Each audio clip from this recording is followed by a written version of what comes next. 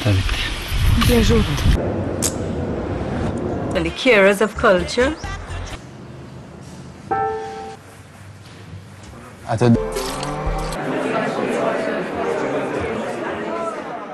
W studiu festiwalowym rozmowa z Grzegorzem Jaroszukiem, twórcą filmu Opowieści z chłodni.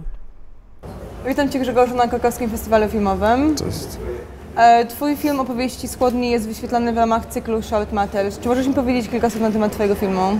Opowieści z chłodni to jest historia e, dwójki najgorszych pracowników supermarketu, którzy muszą sobie znaleźć cel w życiu, bo jeśli nie znajdą, to zostaną wyrzuceni z pracy. E, I to był mój dyplom w szkole filmowej w Łodzi. E, Rozumiem, że teraz pracujesz nad kolejną fabułą, która opowiada o trzech e, osobach, które nieudolnie próbują popełnić samobójstwo. Powiedz mi, skąd ten gorzki komentarz społeczny? To jest to samo, co w opowieściach z chłodni, k- które są o takich luzerach, nieudacznikach, ludziach, którym jakoś coś tam czasem nie wychodzi, a w zasadzie bardzo rzadko coś wychodzi.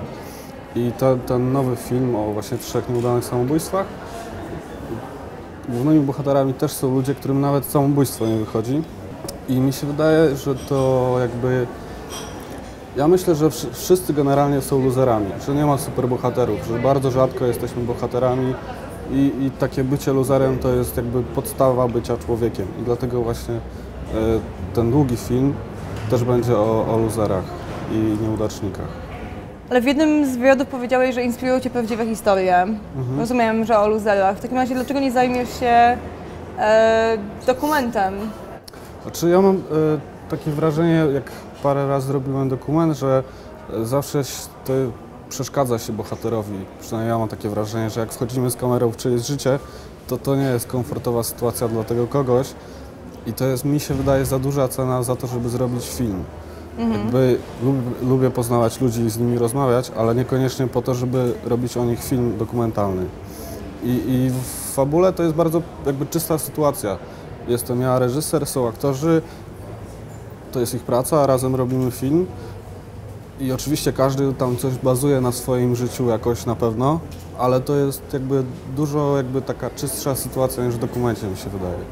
Bo dokument to jest ingerencja w czyjeś życie i właśnie to mi, to mi przeszkadza w dokumencie. Dlatego, dlatego nawet jeśli historie prawdziwe są dobrą inspiracją do fabuły i takie rzeczy jak obserwacja, czyli narzędzia czysto dokumentalne są dobre przy pisaniu scenariusza na przykład, to jednak dla mnie jakby ważniejsza jest fabuła, a dokument jest taką trochę niekomfortową sytuacją i dla mnie, i dla bohatera, o którym robię film. Twój film, śmiem twierdzić, jest mocno absurdalny. Jest bardzo, bardzo polski, a jednak świetnie sobie radzi na międzynarodowych festiwalach. E, Czy mógłbyś dać jakąś radę młodym filmowcom, którzy chcą zaistnieć za granicą Polski? Mi się wydaje, że to mm, no, najważniejsze jest to, żeby robić film o tym, co się dobrze zna. I nawet jeśli ja nie pracowałem nigdy w supermarkecie, tak jak moi bohaterowie, to jednak jestem w stanie, to są ludzie, o których, których ja jestem w stanie dobrze zrozumieć i to jest najważniejsze. Jakby robiłem film tylko o czymś, co, co bardzo dobrze potrafię zrozumieć przez to potrafię opowiedzieć w jakiś jasny sposób i mam nadzieję ciekawy. No i ja myślę, że to jest podstawa tak naprawdę, że nie ma, tak naprawdę na początku nie ma co kombinować, jak dotrzeć do wielu ludzi, tylko po prostu robić film jak najlepiej się potrafi o tym, co się do, najlepiej zna i no i tyle. I potem trzymać kciuki za film tak naprawdę, nie? Co mnie urzekło w Twoim filmie, to oczywiście oprócz ciekawej historii e, perfekcyjny obraz tak naprawdę. Czy możesz mi powiedzieć, e, kim się inspirujesz pod względem technicznym?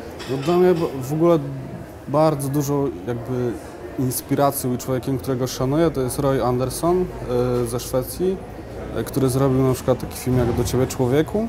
Właśnie on ma taki bardzo, bardzo wy, wypracowany styl, wszystko jest przemyślane w kadrze. E, No to mi jakoś imponuje, bo widać, że on po prostu wszystko bardzo dobrze wie, jak zrobić, wie, co chce i wie, jak to zrobić. I, i właśnie ten styl, jakby jego ten chłód, dystans bardzo mi, bardzo mi odpowiadają. Właśnie on jest naj, naj, największą moją inspiracją, że tak powiem. Czyli rozumiem, że Twój nowy film będzie utrzymywany w tej samej konwencji. Tak, tak. No na pewno będzie coś tam innego, no bo to jest inna historia, inaczej pewno ją trzeba będzie opowiedzieć. E, ale, ale ten sam styl, ten sam sposób opowiadania, ten, to samo poczucie humoru e, i tak. W takim razie Grzegorz, powodzenia nad nowym filmem. Mam nadzieję, że go zobaczymy na następnym festiwalu. Bardzo Ci dziękuję za rozmowę. też, też dziękuję. Dzięki. Dzięki.